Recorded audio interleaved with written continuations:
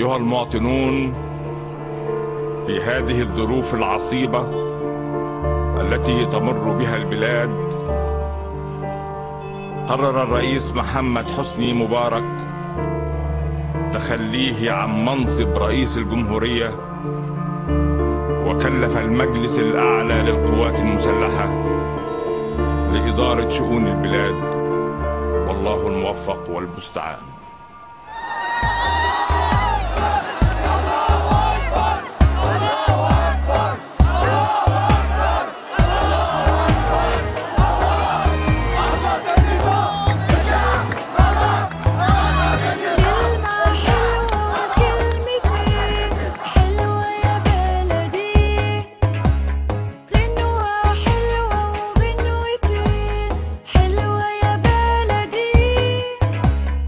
املي دايما يا بلدي إني أرجع لك